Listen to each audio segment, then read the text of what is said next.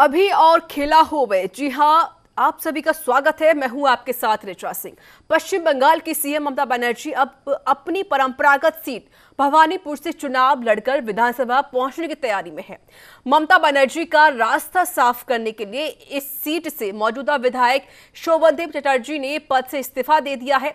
उनके इस्तीफे को विधानसभा के स्पीकर विमान बनर्जी ने तत्काल स्वीकार कर लिया है। ममता बनर्जी ने कहा कि शोभन देव ने खुद इस्तीफा दिया है और उनके ऊपर कोई दबाव नहीं है। गौरतलब है कि ममता बनर्जी पहले भी भवानीपुर सीट से ही चुनाव लड़ती रही हैं, लेकिन इस बार उन्होंने नंदीग्राम से उतरने का फैसला लिया था। नंदीग्राम में उन्हें अपने ही पुराने सिपला सलाह और बीजेपी के नेता शुभेंदु अधिकारी के सामने हार स्वीकार करनी पड़ी थी। नंदीग्राम से हार के बावजूद वह मुख्यमंत्री बनी है। ऐसे में उन्हें छह महीने के अंदर विधानसभा की सदस्यता हासिल करनी होगी, जिसको लेकर कयास लगाए जा रहे हैं कि तृणमूल सुप्रीमो ममता बनर्जी यहाँ से उपचुनाव लड़कर विधानसभा का रास्ता तय करेंगी।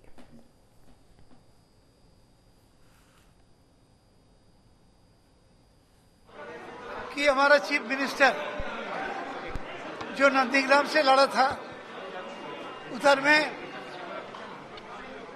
जो भी कारण है, इलेक्शन कमीशन का जो सिस्टम में हार गया, लेकिन उसने छह महीने के लिए चीफ मिनिस्टर बना। अब मेरे दायित्व है, मैंने सोचा कि उसको फिर से एक बार इलेक्शन में खड़ा होना पड़ेगा। और भवानीपुर से वो दो बार पहले जीता। है हमारा पार्टी का लीडर से हमसे बात हुआ। क्या किया जाएगा? बात हुआ। तो मैंने जब सुना कि चीफ मिनिस्टर भवानीपुर से खड़ा होने चाहता है तो मैंने, मैं भी चाहता था कि मेरा लीडर ममता बनर्जी नहीं रहेगा, चीफ मिनिस्टर। तो ये सरकार चलाने का हिम्मत किसी के पास नहीं है। तो मैंने ये सोचा है कि ममता बनर्जी को मैं हमारा जगह छोड़ देना चाहिए। तो मैंने अपनी सिद्धांत लिया। किसी को प्रेशर नहीं है कोई हमको कुछ नहीं बोला जो आपको करना होगा ये आपको छोड़ना होगा कोई नहीं बोला। मैं अपनी सिद्धांत लिया कि हमारे लीडर के लिए मैं ये जगह छोड़ देता हूँ। मेरा भविष्य क्या होगा? वो ममता बनर्जी ठीक करें come to my office and he has tendered resignation and I inquired from him that it has been done voluntarily without being influenced from any corner or without being coerced by anybody and I am satisfied I have accepted the resignation. तो आपको बता दें कि पश्चिम बंगाल विधानसभा चुनाव भले ही ममता बनर्जी जीत गई हो हालाँकि फ़िलहाल अभी मुख्यमंत्री है ममता बनर्जी पश्चिम बंगाल की लेकिन अभी उनको और भी रास्ता तय करना होगा और साफ़ तौर पर अभी जो खेला था, वो अभी रह गया है। बंगाल में अभी भी और खेला होबे को लेकर लगातार जो दोनों ही पार्टियाँ हैं, बीजेपी हो या टीएमसी हो, एक दूसरे के सामने खड़ी हुई है, क्योंकि अब मुख्यमंत्री ममता बनर्जी भवानीपुर सीट से चुनाव लड़ेंगी तो वहीं पर टीएमसी विधायक शोभन देव चटर्जी ने इस्तीफा दे दिया इस सीट से। और आपको बता दें कि छह महीने के अंदर ममता बनर्जी को जीतना होगा।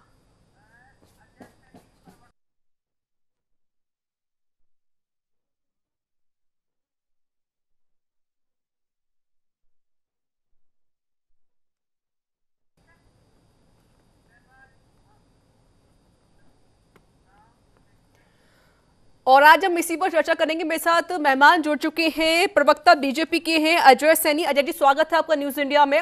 और मेरे साथ जुड़ चुके हैं नेता हैं टीएमसी के दया शंकर सिंह। दया शंकर जी, आपका बहुत बहुत स्वागत है। मेरे साथ और जुड़ चुके हैं संवाददाता हैं, जयपुर से लाइव जुड़े हुए हैं रहमतुल्ला खां। दयाशंकर जी, मैं पहले आपका रुख करना चाहती हूँ, क्योंकि जिस तरीके से लगातार हालाँकि पश्चिम बंगाल में ममता बनर्जी की सरकार तो बनी गई है, क्योंकि टीएमसी ने जिस तरीके से वहाँ पर बहुमत हासिल किया, वो काबिल तारीफ़ था। लेकिन अब, अभी भी जो खेल है, वो खेल बाकी रह गया है। अब जिस तरीके से खबरें लगातार सामने आ रही भवानीपुर से अब ममता बनर्जी सीट चुनाव लड़ने के लिए जा रही है, उनको अब ये सीट जीतनी ही होगी। फ़िलहाल किस तरीके से अभी जो कमी रह गई थी ममता बनर्जी को क्योंकि अभी वो नंदीग्राम से सीट वो हार चुकी थी। अब उनको फिर से चुनाव लड़ने के लिए मैदान में आना होगा उनको सीट अब फिर से जीतनी होगी। फ़िलहाल क्या कुछ कहेंगे इसको लेकर? देखिए नंदीग्राम का जो सीट का मामला था कुछ चैनलों जी। पे डिबेट भी हुआ कि दीदी ने 2000 वोटों से चुनाव जीत चुकी हैं। हम्म। लेकिन बाद में मालूम चला कि सीट चुनाव वो इतने वोटों से हार गई हैं। तो वो तो बड़ा ही खेला वो भी एक खेला का ही विषय रहा। हम्म। खैर चूँकि दीदी इस समय सीएम की शपथ ले चुकी हैं और भवानीपुर से जो विधायक हैं हम लोगों के चटर्जी जी उन्होंने स्वेच्छा से इस्तीफा दे दिया है और वो उन्होंने कहा है कि दीदी जब सीएम बनेंगी तो जो बंगाल को जो सही दिशा देनी है देश को सही दिशा देनी है जो दीदी बनाम मोदी चुनाव था मोदी जी का पूरा बंगाल ने जिस प्रकार से चुनाव हराया है मोदी जी को पूरे बंगाल में और ये बंगाल की जान, जनता जानती है लेकिन। वहाँ पे क्या हुआ? नंदीग्राम में क्या हुआ कि दीदी को अनाउंसमेंट होने पे कई चैनलों पे डिबेट होने के बाद बाद में छह बजे बताया गया कि वो चुनाव हार जाते हैं। तो बड़ा ये वो भी एक खेला का ही विषय रहा। हम्म। तो ये क्लियर है और दीदी चुनाव यहाँ से लड़ेंगी और अच्छे वोटों से जीतेंगे और बंगाल को और पूरे देश को कायदे से बनाएँगी चलिए ठीक है, हमारे साथ बीजेपी के प्रवक्ता भी लगातार जुड़े हुए हैं, अजय सैनी। अजय जी, भले ही बीजेपी चुनाव हार गई हो पश्चिम बंगाल में, हालाँकि जो जिस तरीके से पिछली बार जो सीटें जीती थी, उससे कई गुना सीटें बीजेपी ने इस बार जीती हैं। एक अच्छी बात है, यहाँ पर कहीं ना कहीं बीजेपी की जो एक अच्छी तस्वीर थी, वो यहाँ पर निखर कर सामने आई है। फ़िलहाल अब भवानीपुर से ममता बनर्जी चुनाव लड़ने के लिए जा रही हैं और क्या कहेंगे इसको लेकर और जिस तरीके से खुद शोभन देव ने इस्तीफा दे दिया है भवानीपुर से कहीं कोई दबाव उनके ऊपर तो नहीं लग रहा? ऐसी कुछ आपको भी ये महसूस हो रहा हो कहीं दबाव तो नहीं उनके ऊपर जिस वजह से उन्होंने इस्तीफा दे दिया है भवानीपुर सीट से? ये ऋषा जी मैं आपको बताना चाहूँगा कि उन्होंने अपनी मर्ज़ी से इस्तीफा दे दिया है ऐसा नहीं है। जी। कुछ राजनीतिक दबाव होता है उसी के कारण चलते इन्होंने इस्तीफा दिया है। ये जितने कितने भी बयान आ रहे हो कि उन्होंने अपनी मर्ज़ी अगर अपनी मर्ज़ी से इस्तीफा दिया तो भवानीपुर के विधायक ने क्यों इस्तीफा दिया है? किसी और ने क्यों नहीं दिया? वहाँ से भी उनको लड़ना लड़ सकते थे कोई और विधायक वो कैसे अपनी सीट ऊपर कर सकता था लेकिन ऐसा नहीं हुआ। जो उनकी परंपरागत सीट है जहाँ से वो पहले भी हो चुकी है उन्होंने उस सीट को चुना। और वहीं से एक विधायक कहता है कि जी मैं इसे सीट छोड़ रहा हूँ ऐसा नहीं है। कहीं ना कहीं दबाव ज़रूर है यानी बना आपकी रहा तरफ़ है से कहा जा रहा है कहीं ना कहीं दबाव है। दया शंकर जी जिस तरीके से खुद बीजेपी के जो प्रवक्ता है वो कह रहे हैं कि कहीं ना कहीं दबाव था शोभन देव पर जिस वजह से उन्होंने इस्तीफा दिया है। क्या कहेंगे? सच्चाई है क्या इसमें? दया शंकर जी। जी जी इनके पार्टी में इनके पार्टी में प्रवक्ता महोदय के पार्टी में ऐसा चलता होगा हम लोग के पार्टी में ऐसा कुछ भी नहीं होता है। किसी के दबाव की राजनीति और जुमला छोड़ने की राजनीति तरह तरह के प्रोपगंडा लगा के जाँच कराने का तरह तरह की ऐसा कुछ भी हमारे पार्टी में नहीं होता है। हर एक कार्यकर्ता अपने मुखिया के लिए तत्पर रहता है। हम लोगों के लिए चुनाव में जीत हासिल करना मकसद नहीं होता है। किसी की बातों को जुमला बताना और इस प्रकार का झूठ बोलना ऐसा नहीं होता है क्योंकि अपने पार्टी में जो भी कार्यकर्ता रहते हैं ग्रास रूट पे काम करते हैं ज़मीन पे काम करते हैं लोगों के लिए काम करते हैं उनके लिए विधायक बनना सांसद बनना मंत्री बनना कोई मामला नहीं रखता है। और अपने से अपने मुखिया के लिए जो है हमेशा तैयार रहते हैं जिसका ये नतीजा जो मिला है तीसरी बार दीदी इतना प्रचंड बहुमत से जीती हैं तो इसमें छोटे से बड़े कार्यकर्ता से लेके विधायक से लेके मंत्री तक सभी लोग पार्टी के साथ में, अपने मुखिया के साथ हमेशा खड़े रहते हैं, जिसका नतीजा होता है। इनके पार्टी में दबाव उबाव वाली सिस्टम चलते होंगे तो बहुत से इनके यहाँ क्या क्या टूल्स क्या क्या किट क्या क्या है सिस्टम होता है इनके में तो ये सब चीज़ें होंगी, लेकिन अपने पार्टी में ऐसा कुछ नहीं होता। वो अपने पार्टी के बखान कर रहे होंगे। चलिए, मैं सवाल आपसे मेरे साथ लगातार जुड़े हुए मेरे सहयोगी लाइव जुड़े हुए हैं रहमतुल्ला खां। रहमतुल्ला, दोनों ही जो पार्टी के नेता हैं, एक दूसरे पर आरोप प्रत्यारोप लगा रहे हैं। बीजेपी कह रही है कि कहीं ना कहीं शोभन देव पर दबाव डाला गया है इस्तीफा देने के लिए। लेकिन टीएमसी कह रही है कि कोई दबाव नहीं डाला गया, बल्कि उन्होंने खुद अपनी मर्ज़ी से अपनी राजा को जिताने के लिए उन्होंने इस्तीफा दिया है। रहमतुल्ला खां। देखिए ये भवानीपुर जो सीट है ये परंपरागत ममता बनर्जी की सीट है यहाँ से लगातार वे लड़ते आई है। लेकिन इस बार जो है शुभेंदु अधिकारी के सामने उन्होंने लड़ने का फैसला लिया फैसला लिया था इसलिए उन्होंने नंदीग्राम से चुनाव लड़ा था। और यहाँ पर शोभन देव को जो चुनाव लड़वाया था वहाँ से वो जीत गए हैं। अब जब ये सीट छोड़ने वाली बात है क्योंकि मुख्यमंत्री उनको रहने के लिए छह महीने से पहले पहले उनको विधानसभा में पहुँचना ज़रूरी है और विधायक का चुनाव लड़ना ज़रूरी है। तो उनके लिए परंपरागत सीट खुद की है तो इसमें किसी प्रकार का कोई ये भी नहीं कहा जा सकता कि दबाव हो। क्योंकि जिसकी परंपरागत सीट हो अपनी खुद सीट से स्वेच्छा से अगर वो अपने मुखिया को अपने जो प्रमुख नेता को अगर वो सीट देते हैं तो वो उनकी खुशी की बात है। अगर उधर बीजेपी आरोप लगा रही है कि इनकी इनका दबाव है। ये तो उनके आरोप पार्टियों का आरोप प्रत्यारोप है लेकिन ये ममता बनर्जी की परंपरागत सीट है। अब ये देखा जाएगा जो कि कृषि मंत्री जो शोभन देव है उनको किस जगह से चुनाव लड़ा जाए। खदरा दे जो सीट है वहाँ से अगर चुनाव लड़ाया जा सकता है ये देखने वाली बात होगी। ये तो अपनी जो टीएमसी पार्टी है वो फैसला लेगी।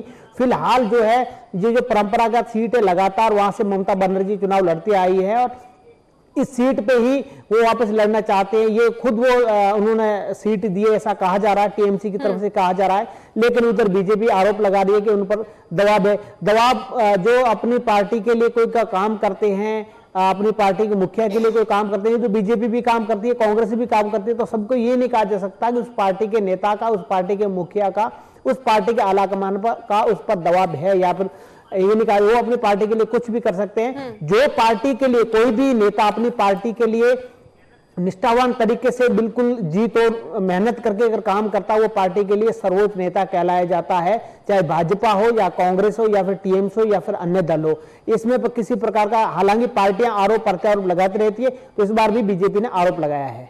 बिल्कुल, साफ़ तौर तो पर यहाँ पर अगर मुख्यमंत्री बनते रहना होगा, अगर ममता बनर्जी को तो उन्हें सीट ज़रूर जीतनी होगी और छह महीने का उनको समय दिया गया है। और इसको लेकर भी लगातार जिस तरीके से शोभन देव ने इस्तीफा दे दिया, इसको लेकर भी जो बीजेपी है, वो कह रही है कि दबाव बनाया जा रहा है शोभन देव पर उन्होंने इसलिए इस्तीफा दिया है। हालाँकि टीएमसी कह रही है कि कोई दबाव नहीं बनाया गया है, बल्कि उन्होंने अपनी ही मर्ज़ी से इस्तीफा दिया ताकि जो मुख्यमंत्री ममता बनर्जी है, वो अपने पद पर सही सलामत रहें। मेरे साथ बातचीत करने के लिए अजय सनी बीजेपी प्रवक्ता हैं, लगातार मेरे साथ मौजूद हैं। अजय जी, भले ही बीजेपी जिस तरीके से चुनाव हारी है, वो तो है ही, लेकिन साथ ही साथ जिस तरीके से खुद शुभेंदु अधिकारी ने, खुद बीजेपी ने किस तरीके से ममता बनर्जी को पटखनी दी है, वो तो सबने देखा ही है। ये भी बात बहुत एक अच्छी रही है, क्योंकि जिस तरीके से खुद बीजेपी ने कहीं ना कहीं अच्छी खासी सीट भी हासिल की है। और सबसे बड़ी बात यह है कि जो टीएमसी ने आरोप लगाए हैं, टीएमसी कह रही है कि बीजेपी अपनी हार को पचा नहीं पा रही है। और इसी के दौरान वह केंद्रीय एजेंसियों के ज़रिए हम पर हमला कर रही है हम पर आक्रमण कर रही है। क्या कहेंगे? अजय जी। चाहूँगा पहली बात कि बीजेपी मेरे अगर मैं अपने विचार व्यक्त कर रहा हूँ तो मेरे विचार से बीजेपी हारी नहीं है। जी। कि बीजेपी पहले चुनाव से पहले तीन सीट पे थी और आज कहाँ पहुँची है तो बीजेपी ने टीएमसी को एक मज़बूत विपक्ष दिया है। तो मुझे नहीं लगता कि बीजेपी कहीं हारी है। नंदीग्राम में शुभेंदु अधिकारी ने चैलेंज किया था कि ममता दीदी को वहाँ से जीतने नहीं देंगे। और उसका रिज़ल्ट क्या हुआ? यही हुआ ममता दीदी को मुँह खा दी।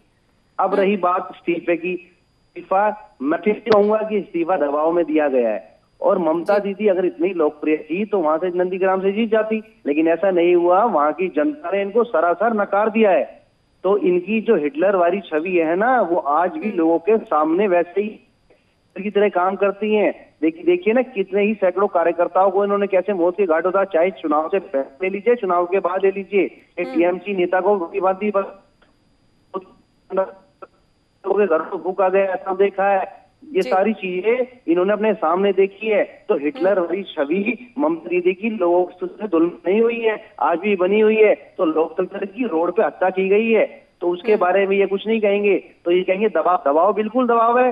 दबाव के कारण ही इनके इनके जो नेता है विधायक है उन्होंने भवानीपुर से इस्तीफा दिया है। तो ये बिल्कुल बात सही है कि दबाव पूरा बना हुआ है क्योंकि हिटलर रूपी देश है जिनके अनुसार ये चलती है ममता चलिए, दीदी। इसका जवाब और, और ये बात रही मैं जी। ऋचा जी एक छोटी सी बात और रखना चाहूँगा जी, जी, कि टीएमसी नेता कह रहे थे कि टीएमसी के कार्यकर्ता ग्रास रूट पे काम करते हैं। भाजपा भारतीय जनता पार्टी के हर कार्यकर्ता ग्रास रूट से जुड़े हुए हैं और काम कर विश्व की सबसे बड़ी पार्टी भारतीय जनता पार्टी बनी है। इसको नकारा नहीं जा सकता। और ये आपसे साबित करते हैं ये मेरे के मानिए मत मानिए मेरे कहने से। लेकिन आगे तो बताते हैं कि टीएमसी कहाँ वजूद करती है और भारतीय जनता पार्टी विश्व में कहाँ वजूद करती है। तो ये ना कहें कि दबाव नहीं था या भारतीय जनता पार्टी को मुँह की खानी पड़ी। भारतीय जनता पार्टी आज भी एक अच्छे विपक्ष के रूप में सामने है। बिल्कुल। और आपकी तरफ़ से ये भी कहा गया है कि अगर मान लो कि ममता बनर्जी नंदीग्राम से सीट हार गई हैं तो उनकी जो हिटलर वाली जो छवि है वो अभी बरकरार है। मेरे साथ लगातार टीएमसी नेता भी लगातार जुड़े हुए हैं अ, दया शंकर सिंह। दयाशंकर जी जिस तरीके से खुद बीजेपी ने कहा है कि सबसे बड़ी बात है कि भवानीपुर से आखिरकार क्यों सीट लड़ना चाहती हैं? कोई और भी तो सीट हो सकती थी विधानसभा की। वहाँ से वहाँ से चुनाव लड़ सकती थी ममता बनर्जी। भवानीपुर क्यों चूज़ किया? देखिए जिस प्रकार से बता रहे हैं कि नंदीग्राम से नंदीग्राम में जिस प्रकार से चैलेंज किया किया गया था शुभेंदु जी के द्वारा शुभेंदु जी के द्वारा तो चैलेंज स्वीकार करना ही एक बड़ी जीत होती है। दूसरी बात जिस तरह से मोदी जी अमित शाह जी ने चैलेंज किया था दो मई दीदी गई। और बंगाल की जनता हमें वोट दे या टीएमसी के गुंडे क्या क्या शब्दों से नवाजा था और बोले थे कि दो मई को दो सौ सीट पार मोदी जी ने बोला था ये जो चुनाव था मोदी बनाम दीदी था। लेकिन दीदी ने मोदी को हराया। जिस प्रकार से ये कह रहे हैं कि नंदीग्राम में हम तो वहाँ हारे नहीं हम लोगों ने तो चुनौती स्वीकार करके लड़ने गए थे परंपरागत सीट छोड़ के। लेकिन जिस प्रकार से मोदी जी ने अठारह रैलियाँ किया और उसके बाद गृह मंत्री जी ने काफ़ी किया कुछ सीएम लोग आए किए और जो चुनाव जो मोदी बनाम दीदी हुआ तो क्या ये स्वीकार करते हैं प्रवक्ता महोदय कि मोदी जी वहाँ हार गए? हम लोग को तो खुशी हो रहा है कि चलिए अब आप लोग विपक्ष में हर जगह आएँगे तो अच्छी बात है। आप लोग विपक्ष में ही रहे तो अच्छी अच्छी बात रहेंगी। अब आप लोगों की जो छवि थी एक ही लोगों को जो घुमाते थे बंगाल की जनता ने आप लोगों को धूल चटा दिया। हम्म। मोदी की हवा खराब कर दिया।